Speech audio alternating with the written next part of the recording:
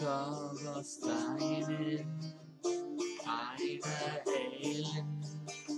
Vilasta osaksi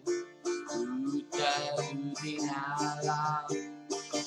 Önedå och Hanka var steinen